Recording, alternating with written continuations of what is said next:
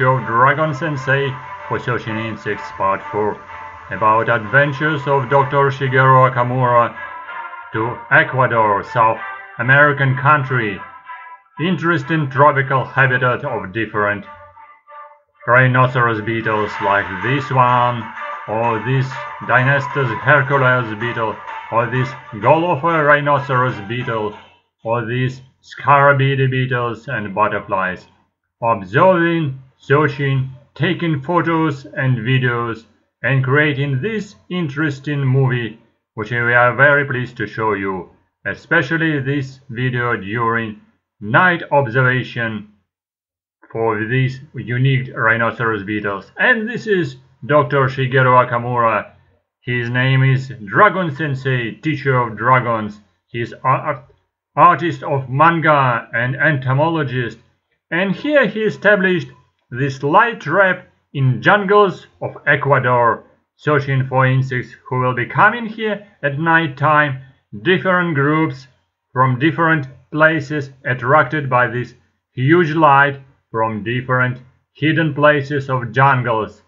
But all these nice butterflies come into light. But not only butterflies. Some other insects will be coming and we will be showing you these unique insects which were collected here, observed and then released later to the nature because they were taken just for video, for photos and for enjoying these really unique living creatures. Oh well, this is a huge grasshopper. This a huge grasshopper came using his very big wings just to the light and was collected here on this white sheet because he is actually feeding on different plants but at night time he was definitely attracted to the light. And what about another insects? You see here some small butterflies, some beetles coming, different groups of insects, and who they are. Let's look around. Let's search all around this sheet and maybe some interesting creatures will come and we will be surprised. And definitely we will surprise because jungles are keeping so huge biodiversity of insects and they are really Beautiful, and this is Sphingidae butterfly, nocturnal butterfly. Mm, pretty big size, if you can compare with first. Quite a big one. Very nice moth. And, near, and under this butterfly there is a Tortricidae, or Helmetridae maybe, family butterfly. There's some other small butterflies, small actually nocturnal moths, not butterflies. And what's about another insect? The biggest, biggest were sitting, becoming quiet, so easy to observe them, easy to take in the hand, and maybe released again back to the nature, back to the jungles. To use more portable light, very useful, because some insects were coming to the light, but they are going not directly to the light, they can stop just nearby, just inside the grass and it needs to take a portable light to find them just in the grass. And Dr. Shigeru Okamura will show you some interesting butterflies, insects who are coming just even on his back because they're sitting all around him but actually fortunately they're not dangerous, they're not stinging, they're very careful. Despite night is pretty hot. I see you so many crowds, crowds of all the insects, butterflies, beetles, bugs were crowding in the direction of light because they were really attracted by light. Some small flies, diptera, small moths were just buzzing, were running, crawling around. Hundreds, hundreds, even thousands of them just some of them some of the same species, but some species are really different, unique, different in color, different in size, and of course you see this huge biodiversity of tropical rainforest here in Ecuador. So beautiful tiny butterflies maybe dozens of new species around. Oh, and this is interesting cricket, interesting grasshopper was coming from the grass attracted on the light. Interesting size, interesting shape, and size not very small, pretty big one. Nice hind legs, still they're crawling closer, closer to the light, so many of them, but most of them they're butterflies, moths, night moths. They keep uh, here nocturnal style of life and they come in here from natural habitat in jungles. Some species just uh, with the same, you can see they're the same in size, but they need very careful scientific research and observation for identification of species. Who you are coming, a little bit careful around, and maybe you can find some new species who came. Well, which this one? This is quite interesting one. Oh, well, wow! Very beautiful beetle. Absolutely wonderful. And this is rhinoceros beetle. And this is genus Golofa. This is Dynastine. Yes, this is subfamily of scarab beetles. Dynastine rhinoceros beetles. This is subfamily of scarab beetles, Scarabaeidae. Another species, this is Herculeus beetle, but this is genus Golofa. Very nice beetle. Actually, Golofa, this is indi indigenous local name used for these beetles in the neighboring country Venezuela and it was adopted to the genus name and actually genus was described in 1837 Golofa this is large Scarabaeidae beetles and male so beautiful.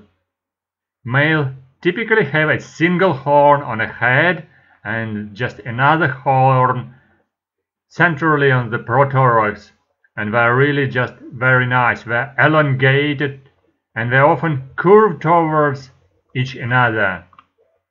A very beautiful beetle of a subfamily Dynastine and subfamily Dynastine and family Scarab beetle Scarabaeidae. Okay, and this is same Golofa in morning time, just crawling on a sugar corn, trying to search for food, maybe some sap or juice from a sugar corn.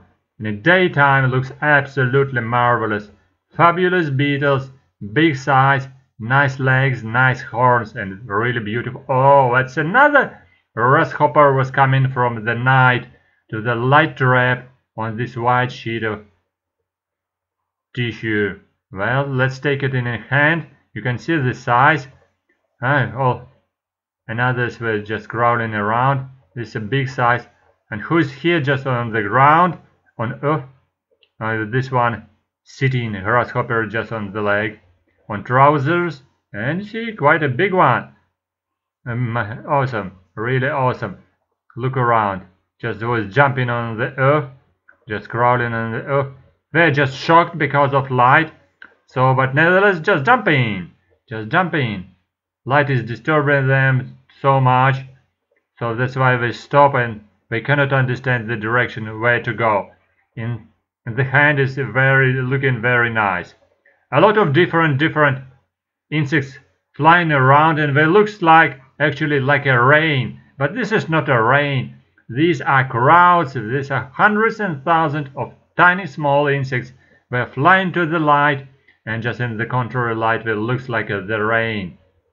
So this is wonderful grasshopper on the hand of a Shigeru Okamura. Just Dragon Sensei released this funny funny grasshopper yes let's go to the grass. Let's eat and don't go back to our trap because we are searching for other interesting insects, other rhinoceros beetles, not butterflies, not be not moths. We are looking forward to find interesting rhinoceros beetle and and one this one. Wow! This rhinoceros beetle is coming. He was coming here. We were expecting but we never expected that it's so beautiful, really awesome male. of the genus Dynastes. Dynastes gerculeus, absolutely marvelous beetle, marvelous beetle living in tropical countries of South America. Hercules beetles.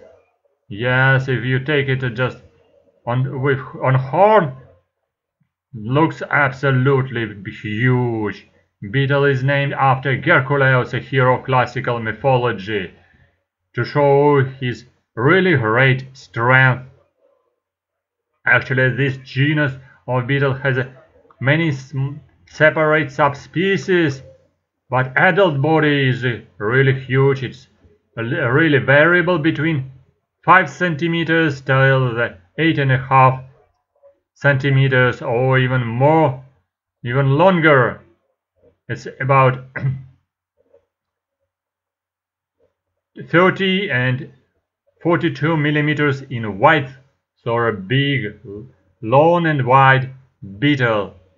Actually, this is for female and male can reach up to 175 millimeters, 17 centimeters in length, making them the longest species of beetle in the world.